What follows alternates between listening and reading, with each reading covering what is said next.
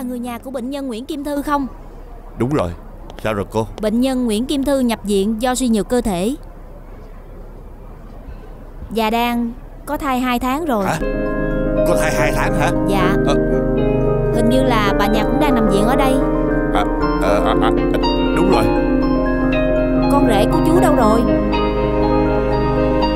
À, à, Thiệt khổ cho gia đình chú quá à. Cảm ơn cô. Dạ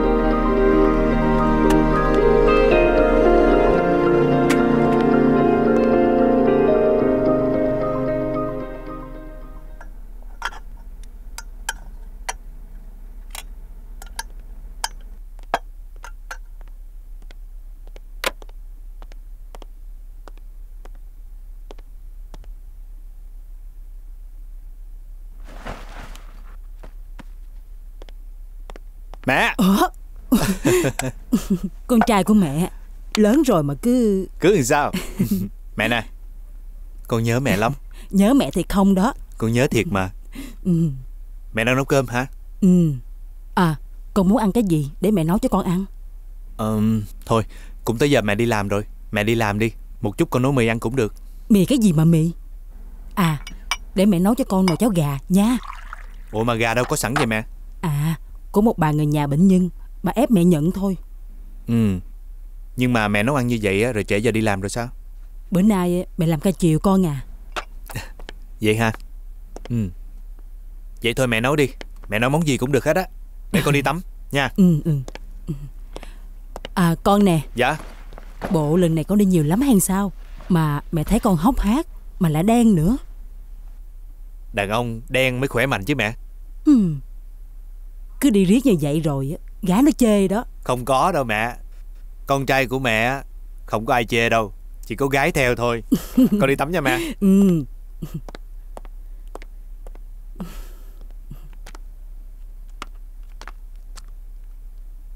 Vô cái đi. Hiếm khi tao với mày có dịp ngồi với nhau vậy.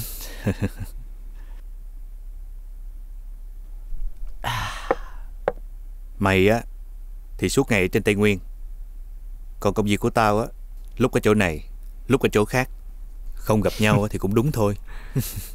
Còn mày Đợt này về nghỉ phép được lâu không? Chắc được tuần. Công việc của tao trước giờ vẫn vậy thôi. Tao chỉ thương bà nội tao.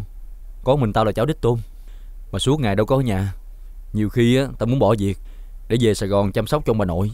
Nhưng mà ăn vào máu rồi Không có bỏ được. Tao hiểu mà. Vì vậy mà khi nào tao rảnh á Tao hay qua chơi cờ với ông nội Tao thấy ông nội vui. Tao cũng cảm thấy ấm lòng. Cảm ơn mày nha. Vậy mới là bạn chí cố của tao chứ. Uống đi. Vô. Chuyện mày với em gái tao tính tới đâu rồi? Tính sao là tính sao. Quen nhau lâu rồi. Tính chuyện cưới hỏi đi chứ. Em gái tao đó không chờ mày lâu được đâu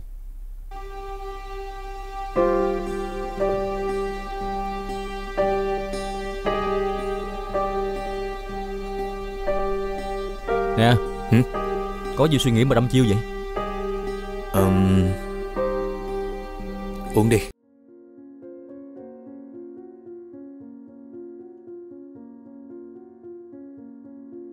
Mày có chuyện gì vậy?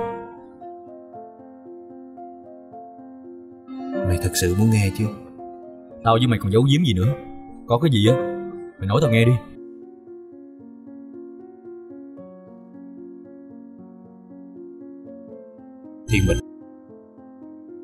chuyện này Tao phải xin lỗi mày.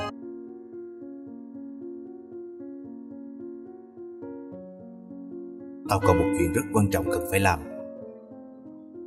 Đó là tìm ra mẹ ruột của tao. Mẹ ruột của mày?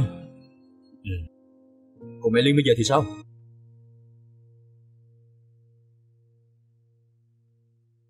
Trong các cuộc họp trước, chúng ta đã tranh cãi về hai dự án đầu tư trang thiết bị cho chiến lược phát triển bệnh viện sắp tới. Nãy giờ các bạn cũng đã tranh luận, phân tích thiệt hơn về hai dự án này. Bây giờ chúng ta nên rút lại vấn đề. Tôi đề nghị chúng ta hãy biểu quyết để có kết quả cuối cùng. Ai đồng ý dự án đầu tư trang thiết bị hiện đại cho các chuyên ngành mũi nhọn?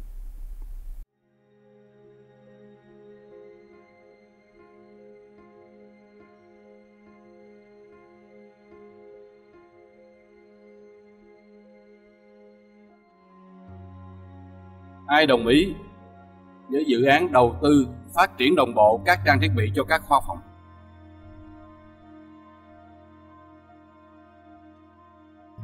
Vậy là tất cả đã thống nhất theo dự án A. Điều này không có nghĩa là dự án B không hay. Tuy nhiên, trong điều kiện của bệnh viện chúng ta hiện nay, chúng ta nên dành ưu tiên hàng đầu để phát triển cho dự án A. Với sư mình, anh có ý kiến gì nữa không? Chắc sáng nay mọi người đã đọc thông tin về hội thảo tim mạch với chuyên đề đóng thông liên thất qua ống thông do bệnh viện Thái Lan thực hiện. Ai có ý kiến gì không? Tôi và bác sĩ Hùng cũng đã thảo luận và đều đưa ra một câu hỏi tương tự như bác sĩ Minh đây. Bởi tôi cũng thắc mắc là tại sao bệnh viện mình không tham gia hội nghị này trong khi đóng thông liên thất qua ống thông là một kỹ thuật thường quy của khoa tim mạch mình. Thật ra là họ có mời Thậm chí còn mời cả ekip của chúng tôi sang Thái Lan Với tư cách là người hướng dẫn nữa Bởi vì bệnh viện của chúng ta là một trong những nơi có số lượng mổ tim bẩm sinh gần như là nhiều nhất ở Việt Nam. Tuy nhiên, do từ trước tới nay mình chỉ làm trên phương tiện cũ kỹ. Giờ có phương tiện hỗ trợ hiện đại của bệnh viện bạn, tôi rất phân dân nên nên đã không nhận lời. Điều này tôi cũng đã trình bày với ban giám đốc, đặc biệt là giáo sư Minh, người phụ trách trong công tác chuyên môn. Thật ra thì khi từ chối lời mời của họ, tôi cũng thấy rất là tiếc. Tuy nhiên, tôi và bác sĩ Hùng cũng đã giới thiệu bác sĩ Nguyễn Hoàng Thái một việc kiều Mỹ Hoàng cho Thái? họ. Theo thông tin của bác sĩ Thái gọi về cho chúng tôi, thì phần thực hành trên bệnh nhân Thái Lan, các bác sĩ Việt Nam mình làm được đánh giá khá cao. Bác sĩ Thái còn cho biết là không chỉ ở Thái Lan mà so với các nước Đông Nam Á, can thiệp tim bẩm sinh Việt Nam đi trước khá xa. Đơn giản là gì? Chúng ta bắt đầu phát triển lĩnh vực này cách đây hơn một thập kỷ. Hơn nữa, các bác sĩ Việt Nam của chúng ta rất khéo tay và thông minh. Hoàng Thái Cái tên nghe quen quen Tiến sĩ Hoàng Thái hiện đang làm cho một tổ chức bác sĩ phi chính phủ. Gần đây, anh ấy có gửi thư mời cho các bác sĩ của bệnh viện mình tham gia khóa học nâng cao về những chương trình mổ tim bẩm sinh cho trẻ em ở Hàn Quốc. à, Tôi nhớ rồi Bác sĩ Hùng đã nhắc tôi mới nhớ Vậy khoa anh đã cử người tham dự chưa? Dạ có. Ờ, tôi có đề xuất bác sĩ Thiên Nga, nhưng vẫn chưa thấy cô ấy phản hồi. Ừ, vậy anh nhớ nhắc bác sĩ Thiên Nga nha Xúc tiến việc này cho nhanh đi Dạ. À Giáo sư Minh Anh tiếp tục câu chuyện của mình đi Thật ra, tôi đề cập thông tin về hội nghị tim mạch này cũng chính là tôi muốn trở lại với quan điểm của mình muốn bệnh viện của chúng ta đẩy mạnh các chuyên ngành y tế mũi nhọn. Tại sao Thái Lan họ lại mời bác sĩ của bệnh viện mình qua bên đó để hướng dẫn kỹ thuật cho một hội nghị quốc tế? Tại sao? Tôi, với tư cách phó giám đốc chuyên môn, lại không thể đưa các học viên của mình đi qua bên đó để thi thố tài năng.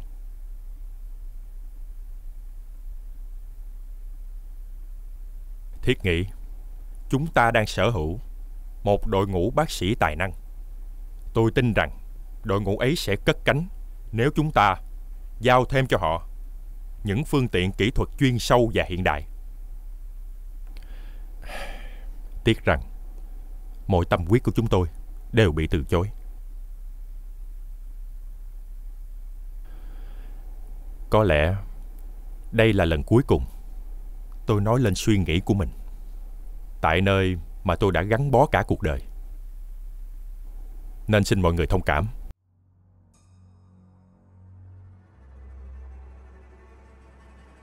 Thời gian gần đây, tôi cũng đã suy nghĩ khá nhiều về chuyện này rồi. Tôi cũng tự hỏi, mình đã sai hay là đúng trong việc quan tâm các chuyên ngành mũi nhọn. Và tôi cũng thật sự hoang mang khi thấy các trang thiết bị đã tuồn về các bệnh viện tư nhân một cách lãng phí như vậy.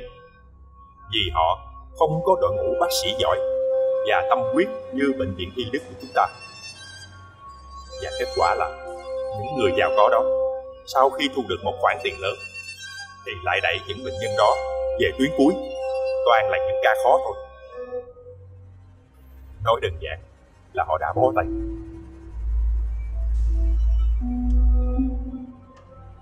Xã hội quá bệnh viện tôi thấy đây là một vấn đề khá hay.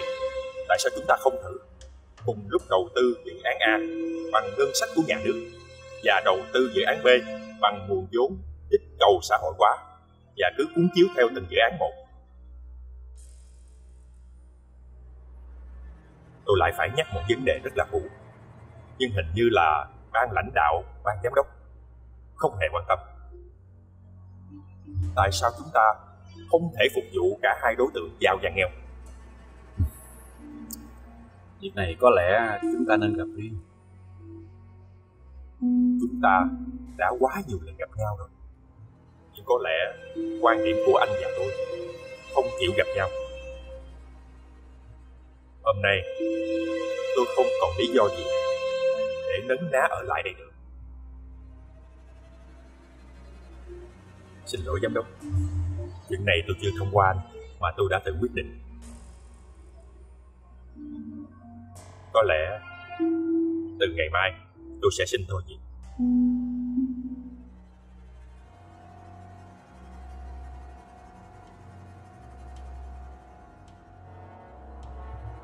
tiến sĩ minh.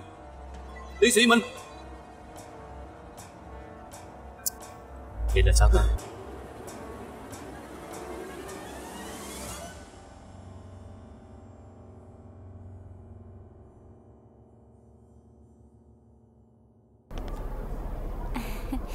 Dạ, Dạ, chào trưởng chào khoa. trưởng khoa. À À cô Mai Bác sĩ Tiên Nga đâu rồi? Dạ, chị Thiên Nga chỉ đi thăm bệnh rồi bác sĩ. Vậy à Khi nào bác sĩ Tiên Nga về Nhớ nói qua phòng trưởng khoa gặp tôi nha. Dạ. Dạ trưởng khoa. Ừ? Dạ Chuyện đi học ở Hàn Quốc á Trưởng khoa đã bố trí người chưa ạ? Thì là bác sĩ Tiên Nga. Ngay cả thư mời Người ta cũng ghi đích danh bác sĩ Tiên Nga rồi mà. Dạ em biết Nhưng mà nghe nói là bác sĩ Thiên Nga bỏ rồi hay sao á Ủa? Bác sĩ Tiên Nga từ chối à? Tôi là trưởng khoa Sao tôi không biết? Mà sao cô lại biết? Dạ em cũng nghe phong phanh vậy thôi à. Tôi nhớ không lầm Thì bác sĩ Thúy Là người luôn chỉ trích bác sĩ Tiên Nga Trong tất cả các cuộc họp. Sao hôm nay lại quan tâm tới chuyện này? Không lẽ Muốn bác sĩ Tiên Nga dành cho suốt đi này? Dạ không ạ. Ừm, À mà theo em nghĩ á Nếu như mà bác sĩ Thiên Nga không đi á Thì mình nên nhường cho một người nào đó trong khoa đi Chứ bỏ lỡ thì uổng lắm. Chuyện đó cứ để tôi lo. Bác sĩ Thúy ờ, lo chuyện bảo đồng rồi đó. À cô Mai Dạ. Khi nào Thiên Nga về nhớ nói qua phòng của tôi nha. Dạ, em biết rồi trưởng khoa.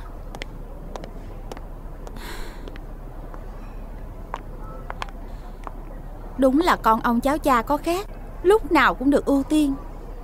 Ý uh, chị nói là bác sĩ Thiên Nga hả? Tôi nói chuyện ở ngoài xã hội thôi mà.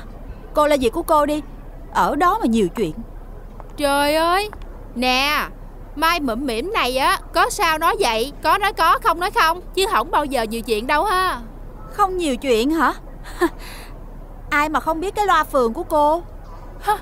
Loa phường thì sao Loa phường mà vấn đề là người ta đưa tin đúng Chứ không bao giờ mà hại người với ai kia đâu.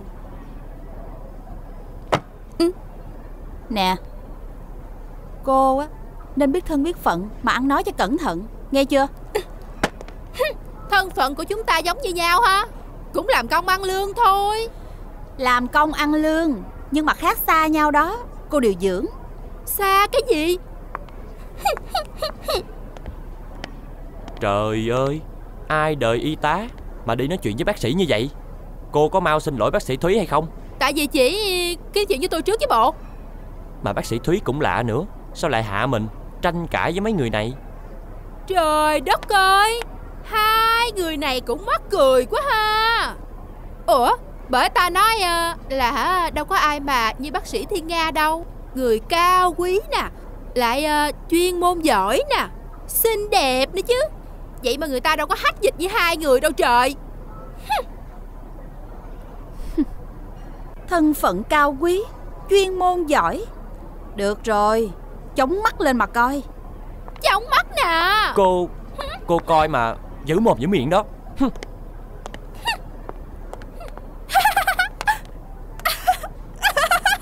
Trời ơi Vui quá. À, Em làm gì mà em cười tích mắt vậy hả Chị Chị chị chị chị chị chị chị chị chị chị chị chị Chị đứng Sao? ở đây Em kể cho chị nghe một chuyện Em vừa có một cuộc đại chiến với hai con người đó Ai? Là bác sĩ Thúy và vệ sĩ của bác sĩ Thúy Hai người đó không phải dạng vừa đâu nha Em đừng có chọc họ nữa Trời ơi không phải dạng vừa hả Mai mẫm mỉm này cũng đâu phải dạng vừa đâu Em đâu phải dễ ăn hiếp đâu Chị cứ yên tâm đi Hay quá ha Ờ mà chị chị chị chị. Ừ? Hồi nãy uh, bác sĩ Hùng trưởng khoa qua kiếm chị á Kêu chị qua bên phòng ảnh á. Ừ, Vậy chị đi trước nha. Dạ. Bye bye. Dám dẫn mặt với tôi hả? Cho vừa cái hai cái người chảnh chẹ.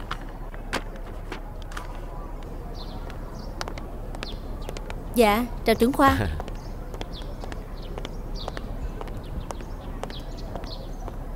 Chào chị. Bác sĩ Hùng. Ủa bác sĩ Nga. Chào bác sĩ. Tôi tìm em nãy giờ. Dạ em vừa đi thăm bệnh về. À mà em nghe nói bác sĩ Hùng kiếm em. Đúng rồi. Ờ về phòng tôi rồi nói chuyện. Dạ. Em nói nghe nè Thấy ông bác sĩ Hùng á Thương con nhỏ Thiên Nga một cách đặc biệt không? Đúng không? Ê! Hả? Trời ơi Ban ngày ban mặt Mà nó dám đâu mày đối mắt với nhau. Thiệt là không coi ai ra gì luôn á. Cái câu trong mặt mà bắt hình dong Như nhỏ này á Thiệt là không có đúng chút nào á. Nhưng mà vuốt mặt thì cũng phải nể mũi chứ. Đường đường là con của phó giám đốc bệnh viện Có chồng là bác sĩ ở bệnh viện này Vậy mà còn dám thân mật Tò te tú tí với ông bác sĩ Hùng trưởng khoa. Thì bởi vậy người ta mới cưng Chứ ai đời mới ra trường mà được cầm dao mổ chính đâu. Nếu như mà không có bác sĩ Hùng chống lưng chịu sào á Còn lâu mới đụng được tới con dao mổ Thôi đi bà ơi Bà đừng có nói nữa. Mỗi lần bà nói là tôi thêm tức à. Trong khi đó tôi với bà Cài không công cho cái bệnh viện này 5 năm trời. Bà có được gì đâu. Nếu mà có được á Chỉ là phụ tá Phụ bác sĩ chính mổ thôi Chứ có được mổ đâu. Tôi á thì không có dám tị nạnh cái vụ này. Nhưng mà tôi chỉ tức có một cái là hả Ba cái vụ ờ, mà đi tu nghiệp ở nước ngoài á. Như thế nào? Chứ tôi hỏi ông ai đời bác sĩ Hùng á Ờ Thiên Nga em có đi Thái không? Thiên Nga em có đi Hàn Quốc không? Nghĩ con có tức không? Làm như cả cái khoa này có mình bả mà hả? Là mổ được tim cho trẻ con vậy đó. Thì cũng tại bà. Lúc đầu tôi kêu bà học mổ tim người lớn đi Như tôi nè. Mặc dù chưa có được mổ chính Mà tôi biết Không có ai dám tranh giành. Thôi, Ai mà dám tranh giành với ông? Bà này. Mà nói thiệt á nghe Cái mổ tim trẻ con á là do Tôi có lý do riêng tôi mới lựa chọn nó. Ê Bà đừng có nói với tôi Là bà thích tiến sĩ Hoàng Thái nha. Tiến sĩ Hoàng Thái? Ừ. Ông bị sao vậy? Làm gì có chuyện đó? Bà có quyết tâm đi không? Thì à, tôi quyết tâm cũng được cái gì đâu. Bác sĩ Hùng cũng đã cử Thiên Nga đi rồi mà. Ủa sao bà nói với tôi là Nó chưa trả lời đi hay không mà? Con nhỏ này lúc nào mà chẳng màu mè. Ừ. Ê Hử? Bà có muốn tôi làm cho nó ở nhà luôn không? Muốn? Vậy thì bà hãy về nhà Chuẩn bị hành trang Mà đi Hàn Quốc đi Ê Không có giỡn được đâu nha. Ủa Từ đó giờ Bà có thấy bác sĩ Việt có giỡn với ai chưa? Ờ thì chưa Nhưng mà Thôi nếu như tôi giúp bà Được đi Hàn Quốc Thì cái chuyện của ông Hoàng bệnh nhân hồi tuần trước á Bà không có được há môi nha. Ông Hoàng? Là bệnh nhân mà mổ bắt cầu mạch dành hồi tuần trước đó. Ủa mà sao tự nhiên chuyện của ông Hoàng lại nói với tôi lúc này vậy? Thì tôi lo xa Lỡ như bà vui miệng Bà buộc miệng bà nói ra rồi làm sao? Ê cái chuyện gì á hả? Vui miệng được Chứ cái chuyện này không có vui miệng được đâu nha. Vui miệng một cái hả là không chỉ có một mình ông chết đâu đó. Bây giờ á bà đã là đối tác của tôi trong cái vụ làm ăn rồi. Minh chứng là ông Hoàng đó. Thì bây giờ tôi giúp ngược lại bà. Cũng như là lời cảm ơn thôi. Bà tin tôi đi. Ờ thì à, cũng tạm tin. Ê nhưng mà ông có thể bật mí cho tôi biết một chút xíu là Ông làm gì cho con Thiên Nga ở nhà không Thiên cơ bất khả lộ. Thiên cơ bất khả lộ.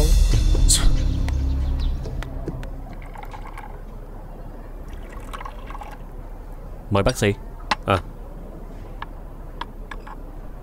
Cậu có biết là vì sao tôi gọi cậu qua đây không? Có phải là bạn thân của tôi Sắp trở thành uh, Tân phó giám đốc? Chuyện này chưa công bố. Anh giữ kín giùm tôi Vậy là phán đoán của tôi chính xác có đúng không? Trần Phương nè. Ừ? Cậu có nghe giáo sư Đặng Minh Ba vợ của cậu Và giám đốc Trần Đăng Khu khẩu nhau chuyện gì không? Ờ Có nghe. Vậy cậu sẽ đứng về phía nào?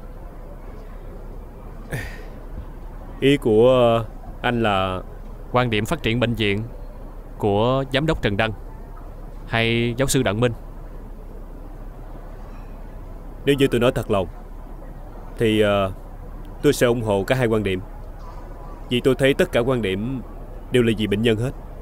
Nhưng mà với thực trạng hiện nay của y Đức Thì uh, tôi sẽ đứng về phía giám đốc Trần Đăng. Trần Phương Cậu nghĩ sao khi tôi đề nghị cậu Ngồi vào vị trí hiện giờ của tôi Thôi Tôi cảm ơn anh. Nhưng mà trong khoa của mình á Có nhiều người xứng đáng hơn tôi. Cậu cũng thấy rằng cả cái bệnh viện này Cậu rất là xứng đáng nè. Có năng lực, có chuyên môn. Cậu đừng từ chối sự tín nhiệm của tôi nha. Cậu có biết không? Sáng nay trong cuộc họp lãnh đạo bệnh viện á Thầy Đặng Minh đã tuyên bố nghỉ việc rồi. Cái gì? Nghĩ gì cơ Ừ. Tôi cũng thật bất ngờ khi nghe chính miệng thầy nói ra Có vẻ như thầy rất bất mãn với quyết định của giám đốc bệnh viện. Tôi nghĩ giám đốc Trần Đăng cũng hơi quá Khi ứng xử với giáo sư Đặng Minh như vậy. Giám đốc đã không chọn đầu tư bất cứ một hạng mục nào Trong đề án phát triển các ngành mũi nhọn của giáo sư Đặng Minh. Vậy uh, ba vợ tôi không có phản ứng gì hết à? Còn những người khác thì sao Thầy tỏ ra rất thất vọng. Trong khi chẳng có ai đứng ra để binh vực thầy hết Trong khi mọi người đều biết Bệnh viện muốn tạo dựng được uy tín Thì phải phát triển mạnh Một số kỹ thuật chuyên sâu. Vậy còn anh? Ý kiến của anh như thế nào? Tôi cũng theo số đông thôi. Nhưng lẽ ra tôi phải Giờ nghĩ lại Tôi thấy mình hèn quá.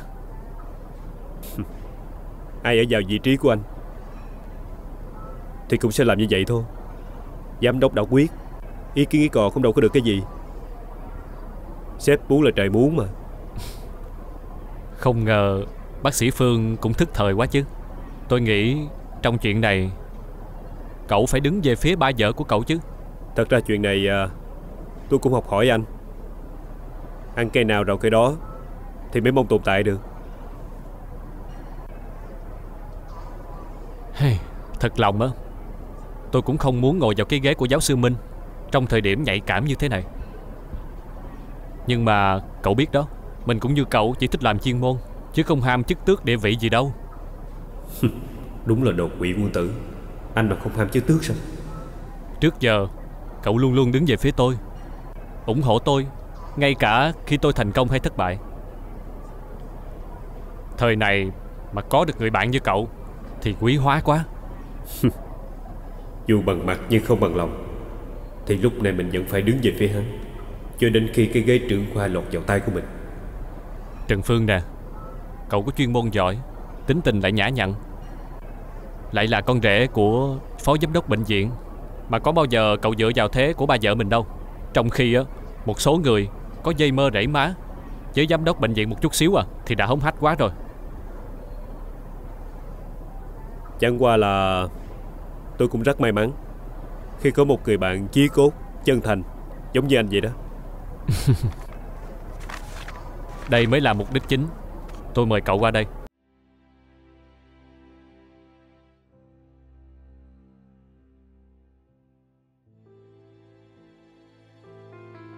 Đi Mã Lai. Ừ. Cậu giúp tôi được không? Ờ Tôi được.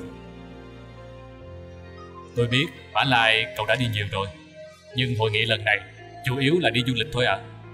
Chứ vaccine ngừa ung thư cổ tử cung Người ta nói đầy ra rồi. Tay giám đốc hãng MSC Cũng chịu chi lắm đó. Nhưng mà đây là mối quan hệ làm ăn của anh Chứ đâu phải của tôi. Của tôi thì sớm muộn gì cũng là của cậu thôi. Có gì xa lạ đâu. Cậu trước sau gì á Cũng ngồi vào cái ghế trưởng khoa ung thư mà.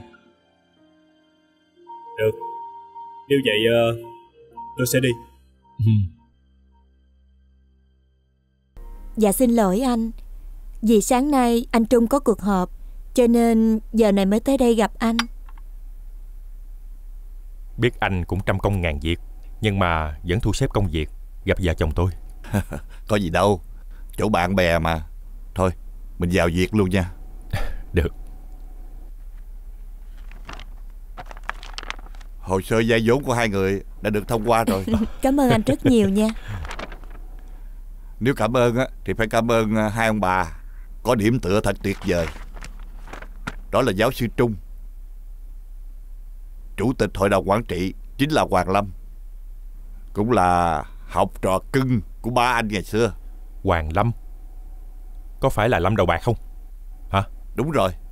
Vậy hả? Chính là Lâm đầu bạc Đó là ngày xưa thôi. Chứ bây giờ á Đầu xanh rồi. Bây giờ á Hoàng Lâm á Là chủ tịch hội đồng quản trị của ngân hàng Nam Việt. Ờ. Rất tiếc á Là hôm nay anh có việc bận Phải đi ra nước ngoài rồi. Chứ không á tôi mời ông tới đây để ờ, gặp mặt hai ông bà luôn. Nè Cảm ơn anh đã giúp cho vợ chồng tôi. Có gì đâu. Bạn bè với nhau mà cứ cảm ơn hoài Uống nước đi.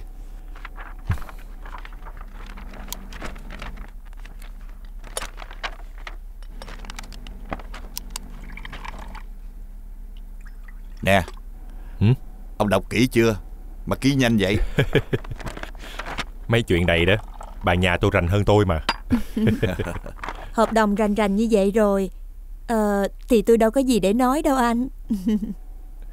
Em à Như vậy á Là vợ chồng mình giữ được nhà rồi. Kể từ hôm nay Anh sẽ ăn ngon ngủ yên. Có thật sự là anh mất ngủ vì ngôi nhà của mình không vậy? Nhìn ông bà vui như vậy á Tôi thấy mừng lắm. Anh cho dù có bận cỡ nào Thì cũng phải cố gắng ghé nhà tôi một lần cho biết nha anh. Được rồi Tôi sẽ sắp xếp. Hay như vậy đi Vợ chồng tôi chính thức mời anh. Cuối tuần này qua nhà tôi nha. Dù gì á Vợ tôi nấu nướng là số 1 Chà Lại tranh thủ á Quảng cáo tài nghệ của vợ nữa hả? Ông giỏi thiệt đó. Sẵn dịp á Đưa bà xã qua luôn nha.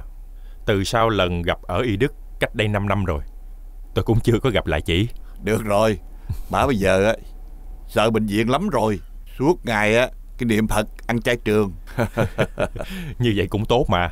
Đầu óc thư thái Thì bệnh tật cũng sẽ tránh xa ra Nè anh Trúc Chắc con gái anh cũng lớn lắm ha. Ừ Nó lớn rồi. Bây giờ nó làm đại diện cho một công ty du lịch lữ hành Của nước ngoài nằm ở Việt Nam. Ồ À Còn con trai ông Dạo này sao? Cái thằng đó cứng đầu lắm. Khuyên hoài Mà nó nhất quyết Không chịu theo nghề y của gia đình Mà nó đi theo cái ngành địa chất gì đó. Con gái tôi cũng vậy Nó cứ làm theo sở thích của nó à Con cái bây giờ Đứa nào cũng vậy hết Đứa nào cũng làm theo ý mình thôi. À Mà con gái của anh Hình như là nó nhỏ tuổi hơn con trai tôi 2 tuổi thì phải. Ờ Chồng con gì chưa anh? Chưa Tôi hối hoài á Mà nó có chịu đưa ai về đâu. Ừm, Hay là Mình kết hợp hai đứa nó lại Mình kết thành xuôi dây với nhau được không anh?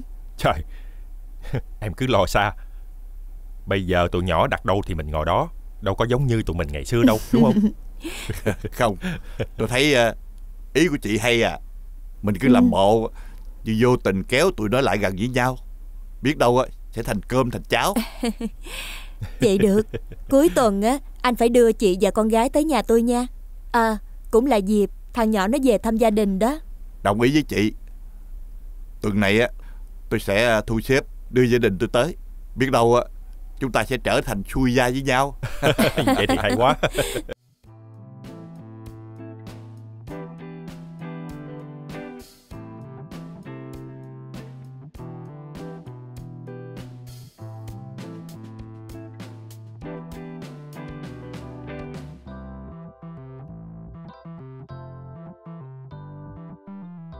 Dạ cảm ơn anh Cảm ơn em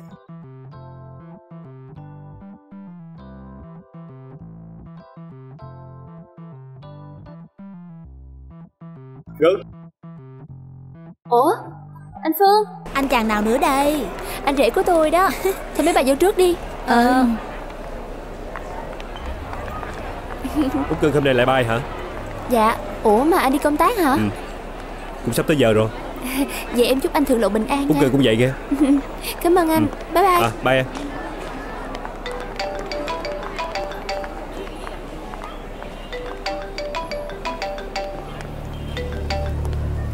Alo Anh nghe nè. Alo Anh hả? Anh tới sân bay chưa? Xong hết rồi. Anh chuẩn bị lên ờ, máy bay nè. Ừm, Anh đi thượng lộ bình an nha. Chuyện của anh và em sao rồi? Ổn rồi. Chị Trang khu điều dưỡng đã tìm ra địa chỉ cô nhân tình của bác sĩ Ninh. Tốt quá. Em làm rất tốt. Mà anh có chắc là em sẽ vô can trong chuyện này không giờ? Em nói vậy là sao? Ờ, à không Từ ngày mà em gửi bộ hồ sơ của chị Trang đưa cho em cho nhà báo. Em cứ thấy lo lo sao á. Khờ quá Không có gì đâu Em yên tâm đi. Ừm, Chị Trang cũng nói với em như vậy. Thôi Anh vô à Bye em. Dạ. Em cũng nhớ anh lắm. Bye bye anh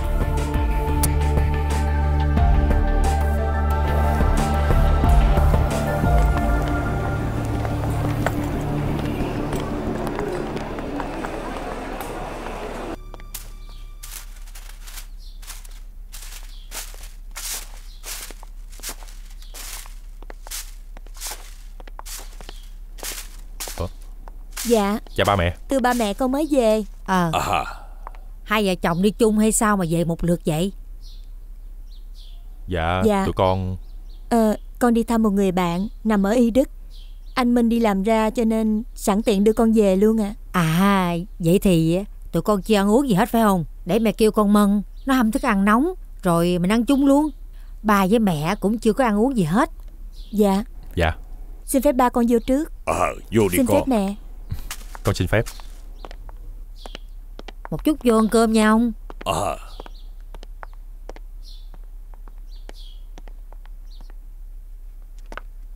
Mẹ. Ừ? Để con mời ba xuống ăn cơm. Ờ đi đi con. Mẹ à Sao giờ này ba mẹ chưa ăn cơm nữa? Ba bị đau bao tử Mà ăn cơm không đúng giờ Không tốt cho sức khỏe đâu mẹ. À còn nữa Mà sao Mẹ để cho chị Mân đi chơi hoài vậy mẹ? Con Mân nó xin phép mẹ đi ra ngoài Đi chơi với bạn. Đi gì mà đi hoài? Mẹ Mẹ cứ chiều chỉ vậy. Có ngày chị dắt bạn về nhà mình ở luôn á. Cái vụ gì chứ? Cái vụ đó nó không dám đâu con. Tính mẹ con còn lạ gì nữa. Ai mà ngọt ngọt với mẹ Là mẹ tin mẹ thương hết. Ừ, Mẹ biết rồi để mẹ nói với nó Không có lo đâu mà. Dạ.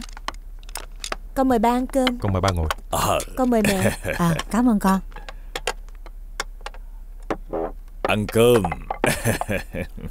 Ba mẹ à Hả? Lần sau ăn trước đi đừng chờ con nữa. Mẹ có nói với ba con rồi. Mà ba con á Cứ đợi thằng cháu đích tôn về mới chịu ăn cơm. À mẹ. Hử? Bộ Thiên Bình nó đi chơi rồi hả mẹ? Mà nó lớn rồi Ăn uống tự lo được Hơi đâu ba chờ nó làm gì? Con Nghe Thiên Ngân nó gọi điện thoại về Nó nhỏ thôi.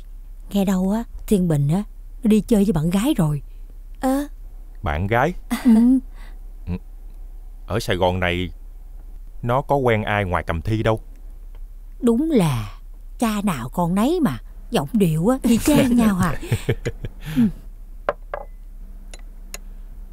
Cha của con á nói Ở Sài Gòn này á, ngoài Tú Anh ra Thì nó làm gì có bạn. Con á thì nói á Ngoài cầm thi ra Thì nó không có quen cô gái nào hết Thiệt là lạ ghê vậy. Thôi mẹ ăn đi.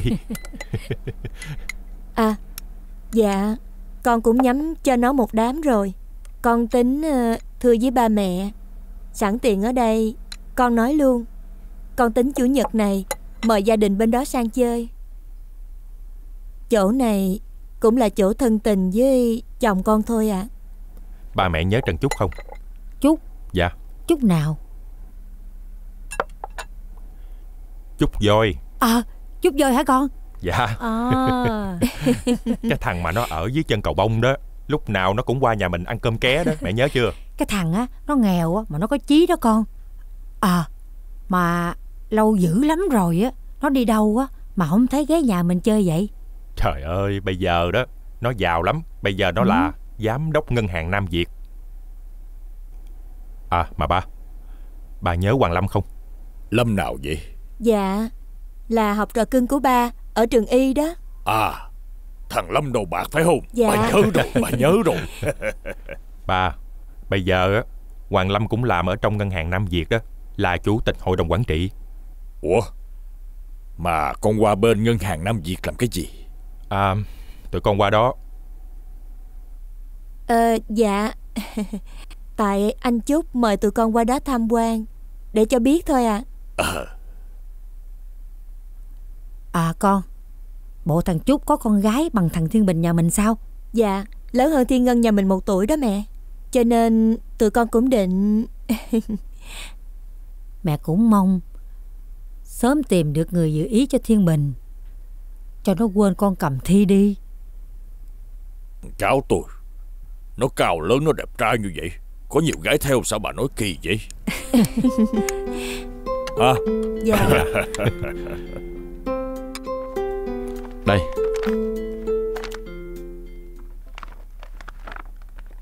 Gần đây Tòa soạn nhận được rất là nhiều đơn thư kiện Nhất là ngành y tế.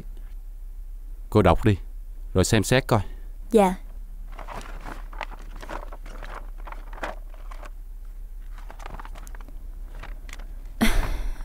Đúng á là dạo gần đây ngành y tế gặp quá nhiều sự cố.